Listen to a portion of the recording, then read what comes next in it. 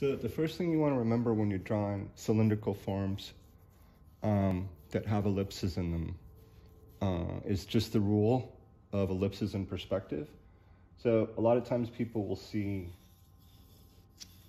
the top ellipse of a glass and it will have this much width. And then the glass, the body of the glass will come down like this. But then their eyes and their brain is telling them that because it's sitting on a table that it kind of looks flat like this, okay? So again, also when you're drawing ellipses, always draw a center axis line through the cup so you can make sure that the symmetry of the form is correct. Um, but uh, again, the reason why, so this top part, if we look at the top part of the glass like that, that looks relatively correct because it looks like it's got depth um, and volume on the top part. But then if we move down and we look at the bottom, it looks totally flat. So the rule of ellipses is, is as they move down through the form, in perspective, this is to make your drawings look like they actually have volume and form to them. As they move down through the form, they're always going to get rounder. Even if your brain and your eye tells you that the bottom doesn't look like it's round, you have to make them rounder because if you don't and you kind of follow the perception of what your brain is telling you it looks like to your eyes um, the form will just not it doesn't. it won't look like it has any kind of dimension to it so just make sure you follow this rule that as the ellipses okay and i'm just going to draw the this is the minor axis and the major axis um, as they move down through the actual cylindrical form. And remember, because you're going to be looking at them in your eye levels up here, so they're going to be moving below your eye level. So as they move down through your eye level, they're going to get wider. And, that, and again, no matter what, like it doesn't matter if, if your brain is telling you that the bottom of something looks like it's flat, um, you just, you have to, you have to make the bottom rounder. So again, if I was taking like a very narrow cylindrical form out of um, like a rectangle and I put a center major axis line through the center. Um, and then I find what I think it looks like the width of the top ellipses in the form. I'm not going to leave the bottom like this. Again, as my ellipses move down through the form, they are going to get wider. Okay, and as long as you follow this rule, then that you can you'll be able to make sure that your drawings are correct in terms of looking dimensional okay? Um, and again if you don't follow the rule and they don't get wider as they move below the top ellipse and you make the bottom flat it's going to make the whole thing um, not look dimensional at all. So you want to set up whatever you're going to do compositionally and you, you know you can, remember you can come in and crop areas you don't have to do the whole thing of everything and you know I, would prefer you have at least three different forms, but you really want to make sure when you are drawing from whatever you set up, and if you can put like a desk lamp on it or whatever, that you're really seeing these accentuations of really strong lighter areas coming out that are really sharp um, and white, like what you're seeing in here, because that's where you're going to accentuate all those really lighter areas with your charcoal your white charcoal pencil, like back in here. Um, and then I, am doing this for the purposes of the video and then based on the video um, that I'm making, but also right here. So you, you you're gonna be working with this ground tone from your paper and then you're gonna be additive with the white. So this is almost kind of like the antithesis of the subtractive drawing. You're gonna be additive and then you're going to kind of be subtractive when you take stuff away with darker or lighter areas and go back and be additive with um, um, with some darker areas with the vine charcoal. So, but the main thing is is like really taking advantage of these really really sharp, high contrast white on, you know, the darker values, darker darker tones. Um, so make sure when you light it, the more that you have all that occurring, the more you're going to be able to to um, convey that it actually looks like glass and then it's sharp and it's and it's really really really really refined So this is going to be the setup for the demonstration. So I'm just trying to show you, the, the, the last video was with less light in the background, just to show you how much you want the light source to be really accentuating all the highlights and sharpness out of all the glass, or if you're gonna use any kind of um, metal or aluminum or anything like that that's really kind of absorbing and throwing the, the light back um, from it being illuminated on the on the surface.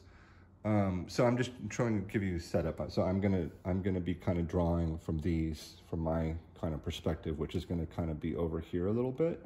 And then obviously I'm gonna be using this first ground, um, which is gonna be like a darker ground, like on the value scale, probably like around 70 or 80%. And you you have this this color or this tone in the in the pack of paper that you got um, with with the Blick uh, art supplies. So I am going to be using for the drawing my very light vine charcoal or willow charcoal, the willow charcoal stick. I'm going to be using my white pastel stick and I'm going to be using my white charcoal pencil. And then also towards the end, I'm going to be using my erasers. Also, if you, if you have a chamois or a tissue when you want to start blending instead of using your fingers, um, then you also be able to use that. So I want you to use the whole page and I want you to try to break the edge of the picture plane. So when all those uh, different forms are put together, don't draw them really small and have any negative space around them. Uh, you know, if they're all, just don't centerize them and make them really tiny. If you actually even need to kind of amplify the scale of them a little bit and parts of them get cut off, that's totally fine. And I encourage you to do that. it'll just add more pictorial depth to the whole composition if you make them really large and you break the edge of the picture plane. Okay, so what I'm gonna do is just very lightly with my vine charcoal, I'm gonna start mapping out where everything is. Okay, so I know you're not gonna be able to see like where you're not being able to see me draw from, I just wanted to have more of a close-up of what I'm doing, okay? Um, so I'm just mapping out where I think all the objects are. And again, I'm, I'm doing this extremely lightly with my vine charcoal. I'm, I'm barely using any pressure at all. And I'm also, because it's the vine charcoal and not my pastel or a charcoal pencil, I will be able to basically just kind of like wipe it away for the most part. Okay, so this glass is in front of that one. And then I've got this other object over here, like so. I'm just gonna kind of draw an axis line like this. And I'm, all I'm doing for this for the first part of this is just basically just mapping out these objects and just kind of trying to find the whole composition. Um, and this is the kind of the back edge of what they're sitting on, which I'm gonna take advantage of with the light, okay? And then this comes here. So I crop this, a little bit of this glass is being cropped right in the foreground right here, okay? That immediately is gonna draw the viewer into the space. I'm just gonna go like this a little bit. Um, I was looking at my negative space shapes relative to the positive forms. So I checked my proportions of this glass relative to this one, relative to this, relative to this. Okay, and then I broke up the space with the back edge of the ground plane and um, the back, basically the back wall that they're up against. Okay, so once you check all your proportions, you lay out your composition, and again, I amplified everything a little bit. Um, and I broke the edge of the picture plane here, here, here, and here. Okay, and just make sure that you try to do that. So just make sure that the objects aren't really small and they're all clustered together and there's all this negative space around the outside. Really check your proportions, check the scale relationships of how the height and the width is relative to everything. And then after that, you can start applying um, the white. So once I've gone back through and I kind of refined some things, made things a little bit bigger, checked the width and the height of everything, laid down some basic shapes for the cast shadows that are being cast, I can go back and I can just very kind of lightly with my finger, just kind of like lighten everything up like this, okay? So basically what I have is I have kind of a ghost structure um, and a foundation for all the shapes um, and the basically I, all the mapping out that I've done of all the forms relative to each other. Um, and then just remember that with the value that's occurring with the with the um, foundation of the actual paper, that's going to be like a mid-range value. So you're going to be able to be additive with your vine charcoal if you want to make things darker, and then you're going to be able to um, use your eraser to take something out that you might add. That also includes um, the white. So basically with my pastel, now what I'm doing is I'm coming in and I'm starting to add where I'm seeing it in terms of the really strong highlights. Okay, and I'm doing this with my white pastel. Okay, because when I, because with the white pastel, I'm gonna start being able to add some volume to the glasses and I'm gonna use my charcoal pencil to go back and sharpen up any of the like very, very strong highlights. Okay, so I'm using a combination of my white pastel to take out the lighter parts of the forms. I'm using the value of the actual and tone of the paper itself. Okay, and I'm just, I'm, and again, I'm not doing like tons of detail and anything like that. I'm just kind of laying things down for now, just so I can get a sense of building the volume and the dimension out through the actual objects okay? And then, and again, you're gonna be able to go back and use your eraser to be subtractive, and you're gonna be able to use your charcoal to be additive, okay? I'm just trying, all I'm trying to do is I'm trying to, when you're mapping out value structure, you're just trying to get a sense of being able to see everything visually together. Um, and that's gonna probably, you're gonna have to alter it a little bit, but it gives you, it helps you in building up the foundation of the drawing and then you can start making relationships and starting to see contrast between different areas. Um, and then you, and then you, like I said, you can go back and you can change things um, in terms of what you're seeing with, uh, you know, certain values or whatever. Um, in terms of, in terms of basically in terms of lightness and darkness. Okay. So I'm just kind of just like gently. I'm not using tons of pressure. I'm not just kind of trying to just lay down the white because I want, I, I really want to kind of bring out and illuminate how intense um, the white is on the forms, okay? And I'm doing this in a really, really, right off the bat, a really, really rudimentary way. I'm not thinking, I'm not trying to put any details in yet because I just want to make sure I can map out um, basically where there's white, how it's playing off the actual value of, you know, some of the mid-range neutral values that are happening in the form. Um, and then I can go back and I start being additive with my charcoal and stuff. So you can see I just have a rudimentary kind of basic structure foundation I've laid down with just some white. I have the tone of the paper and then my initial mapping out with the, with the willow charcoal or the vine charcoal. I've not used any black pastel. I've not used any black charcoal pencil. I haven't used my white charcoal pencil. I'm just checking, it's just a matter of going through stages where you're checking everything and checking everything and checking everything. It's just, that's really, really important. So again, this shot of what I'm drawing um, is gonna be a little bit off because I'm kind of standing above it from where the paper is on the wall for the purposes of the video. But what I want you to see is um, on this back wall here, I'm gonna add that white in the next video and then also really take advantage of the cast shadows, which are gonna be really understated. Um, and then just really notice that some, there's gonna be some parts of some of the objects where it's really dark and you're probably just gonna have to be only using vine charcoal for that. However, towards the end, if you do wanna introduce your black charcoal pencil, just do it in a couple spots where it's absolutely black. But just remember, there's not going to be parts where that's, that's really happening in the whole composition. So be very cognizant of that, where you don't get too dark with something, or uh, on the flip side of that, you don't make something too light. But what you really want to emphasize with your white charcoal pencil are these really, really strong, sharp little white highlights that you're seeing all over the drawing. And I would really wait till the end of your drawing to, to, to do that. So I'm gonna introduce the white on the, on the back wall, back here like this. Okay, and on this Canson paper that you bought, you're gonna get a slight texture, which is kind of the point of the paper because it's a nice paper. Um,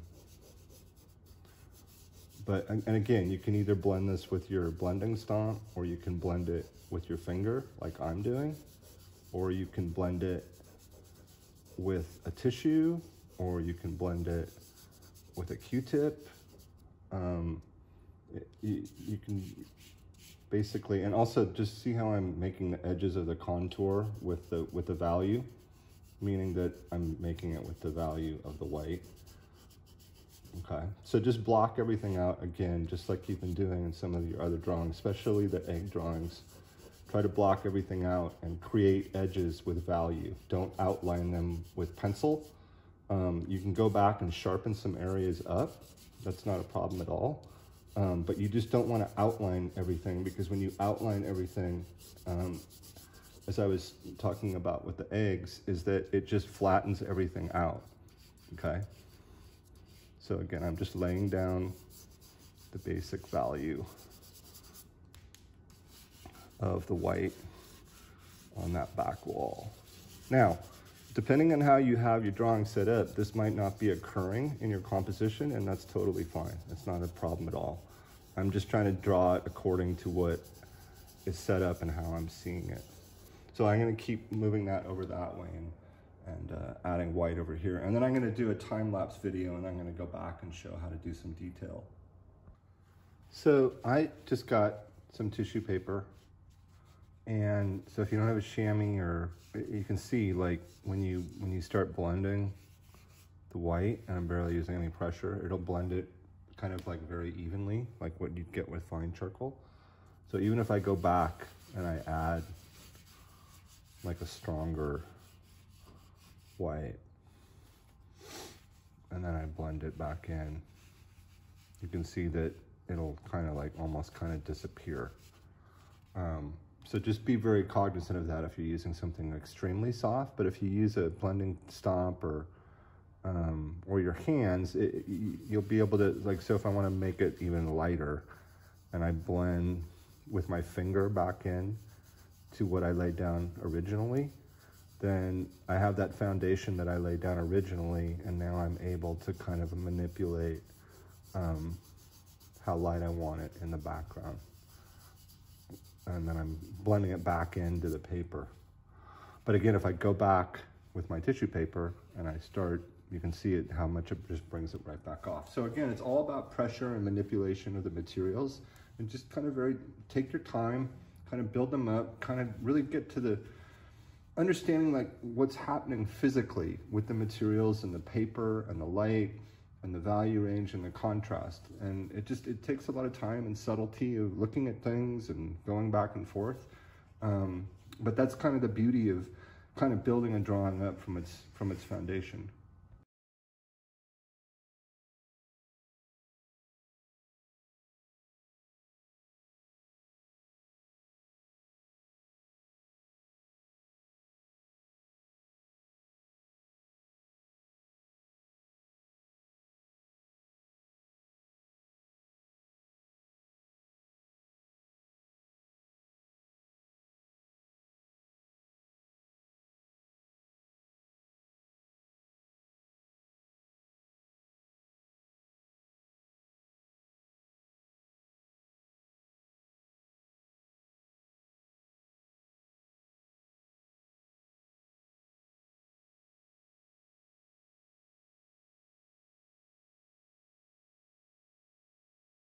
So when you get a certain point, just remember that you want to go back in and you want to use your kneaded eraser to kind of like blend areas a little bit or take things away when you're trying to be kind of interpretive with this, the, the surface quality of the forms, especially the transparency.